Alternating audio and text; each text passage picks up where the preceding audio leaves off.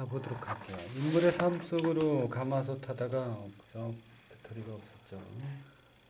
비로소 시, 이곳저곳에 핀 꽃들이 하나 둘 눈에 들어왔다. 우리 도시에 살았었나 봐요. 그죠? 근데 IMF로 시골에서 살게 됐나 봐요. 그죠? 자, 시간의 흐름에 따라 일어난 일 정리하여 보기. 아버지 공장이 부도가 나요. 부도가 뭐예요? 망하는 거죠. 아버지께서 경찰서에 갇혀요. 부도가 나 아빠가 사장님이었는데 부도가 나면 부도라는 게 뭐예요? 망한 거예요. 그러면 돈을 줘야 되는데 돈이 없어서 없다고 선언을 하는 거예요. 포기하는 거예요. 그러면 월급도 밀렸죠. 물건값도 뭐 밀렸죠. 그죠? 돈 줘야 되는데 못 주니까 어떻게 돼? 경찰서에 갇히게 되는 거예요. 빚쟁이들한테 집을 빼앗겨. 집을 빼앗기는 건 아니죠. 그 사람들이 받을 돈만큼 가져가는 건데 그걸 다 못 가져가요. 빚쟁이들 이런 경우에는. 그지? 할머니의 설득으로 온 가족이 고향으로 이사를 가 할머니 댁에 가나 보죠. 할머니께서 가마솥으로 떡과 아침을 했어요. 마을 사람들이 모여 아침밥을 먹어요. 온 가족이 가마솥 온 가족이 가마솥을 함께 들며 크게 웃어요. 인물의 삶을 중심으로 이야기의 줄거리 정리하기.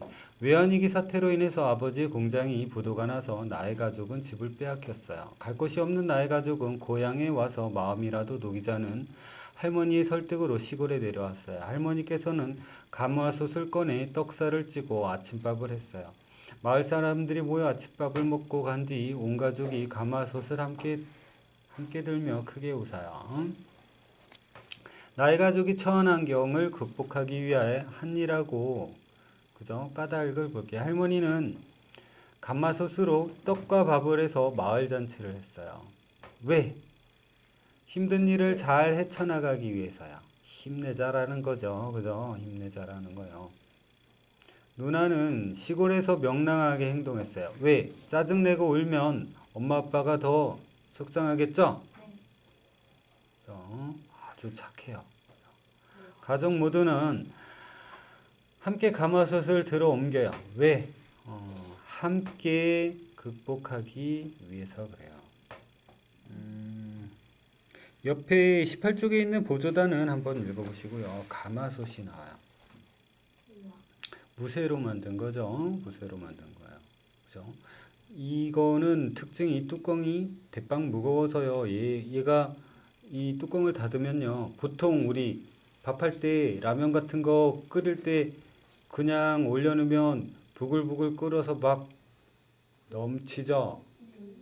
얘는 뚜껑이 들썩들썩하지를 않아요. 않아요. 아, 그죠? 너무 무거워서 들썩이지 않아요. 잘, 잘. 자, 음, 이건 읽어보시면 될 거예요.